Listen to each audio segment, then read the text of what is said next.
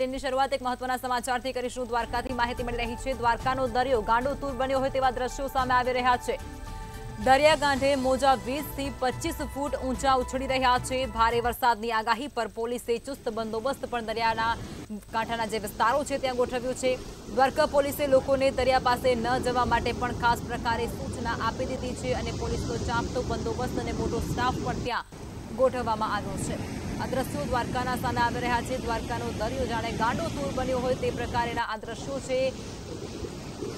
દરિયાકાંઠાના જે વિસ્તાર છે, ત્યાં મોજા વીસથી પચીસ ફૂટ ઊંચા મોજા ઉછળી રહ્યા છે. ભારે વરસાદની આગાહી પર પોલીસે ચુસ્ત બંદોબસ્ત ગોઠવ્યો છે.